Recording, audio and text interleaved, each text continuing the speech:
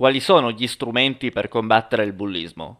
Sicuramente con la prevenzione e con un lavoro di rete di tutte le istituzioni, quindi sicuramente amministrazioni come il Comune, la Regione, ma anche le forze di polizia, le forze eh, municipali, cioè tutti coloro che a diverso titolo hanno delle competenze debbono intervenire e intervenire insieme. Noi in particolare come assessorato alla pari opportunità e diritti civili abbiamo da poco approvato due leggi una contro il, diciamo, quella che è la violenza di genere, ma anche di prevenzione e quindi di promozione nelle scuole di quella che appunto è una cultura di superamento degli stereotipi e di rispetto e quindi questo significa fare prevenzione, così come la legge 5 che è la legge contro tutte le discriminazioni che anche qui prevede delle azioni positive. Fondamentale certo è l'intervento ma ancora più importante la prevenzione.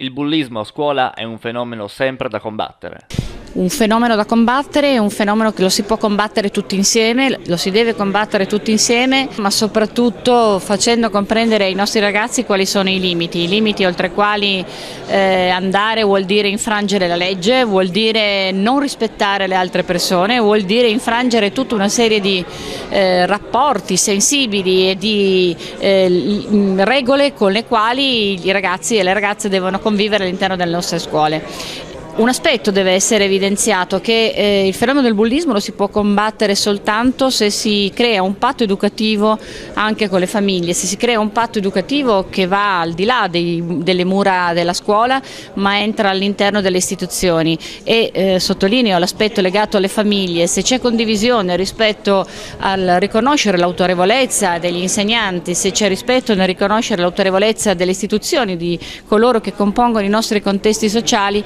allora allora questo può essere elemento che ci può aiutare nel dare insegnamenti, nel fornire eh, valori educativi ai nostri ragazzi all'interno delle nostre scuole. Credo che questa sia la strada intorno alla quale dobbiamo lavorare e che è appunto una squadra eh, che è fatta di sinergie, di condivisioni, di obiettivi che devono essere raggiunti e eh, percorsi con i quali si deve lavorare insieme. E, è un, un fenomeno che immaginiamo possa toccare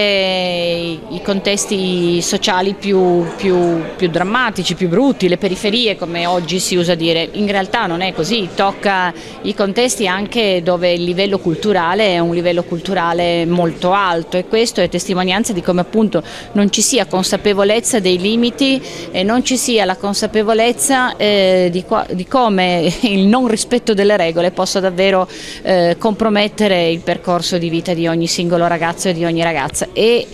mh, sottolineo il fatto che ci deve essere un'alleanza educativa con i genitori perché troppo spesso sono i genitori stessi e spiace doverlo constatare che nel momento in cui si verificano elementi di, di, di, violenza, di tensione tra ragazzi sono i genitori stessi che non riescono a, ehm, a, a, a far scegliere ai propri ragazzi dove sta il bene e dove sta il male quindi qual è la regola giusta e il modo giusto per potersi comportare.